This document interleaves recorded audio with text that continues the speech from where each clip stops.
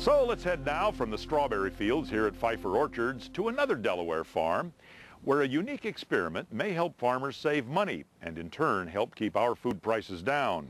And on this farm, the power to run a poultry house is coming from the sun.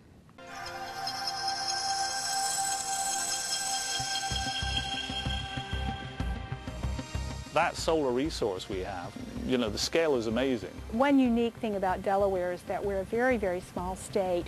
It really is a place where you can get something done quickly. It's certainly not unusual to see a confluence of science and agriculture. In many ways, farming is one of our most innovative industries, by necessity and the need to grow more while spending less. We've seen about a 30% uh, increase in, in power costs in the past few years. Well, it adds to the cost of growing chickens and it adds to the, uh, the competitive aspect of uh, agribusiness in total. So it's really no surprise that entrepreneurs like Chick Allen didn't need a lot of convincing before he let researchers put up a slew of solar panels on his Delaware chicken farm, making this the nation's first commercial solar-powered poultry house in a region known as the birthplace of the broiler industry. Independent contract growers, if they can lower their electric costs, if the industry can experience lower costs to produce chickens, it, uh, it just will help the, uh, the whole process. Selling the idea of solar to farmers could be a bit of a challenge, but with skyrocketing energy costs, rising consumer food costs, and a growing concern for a cleaner environment, solar could well be agriculture's coming attraction. Chris Sharing, whose company built the solar project, says it's designed to generate enough power to operate three poultry houses each holding about 25,000 chickens. Lights, evaporative coolers, feed and watering systems, and vent fans, all powered by the sun.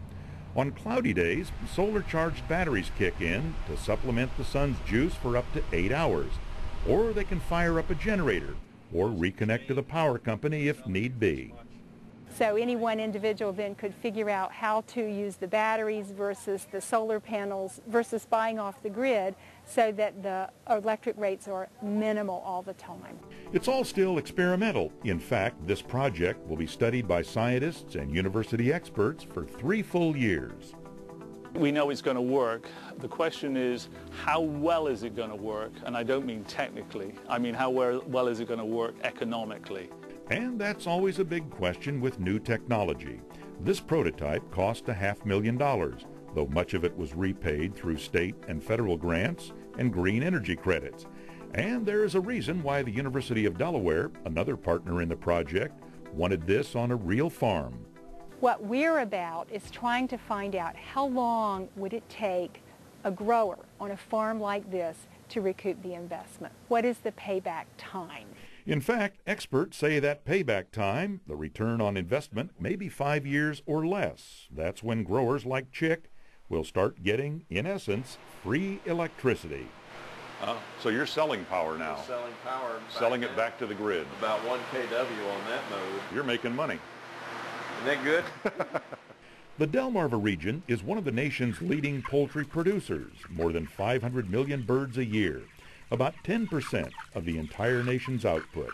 But it's not just local farmers who stand to benefit. But we should care because uh, this industry is going to remain viable and you're still going to be able to get your chickens in the local supermarket at a price that is attractive to you. I've had a lot of my peers from Mississippi and Arkansas, you know, call from Georgia uh, and from California and, and ask about the project. How's it going? What have we learned? How well is it going to be competitive with commercial power?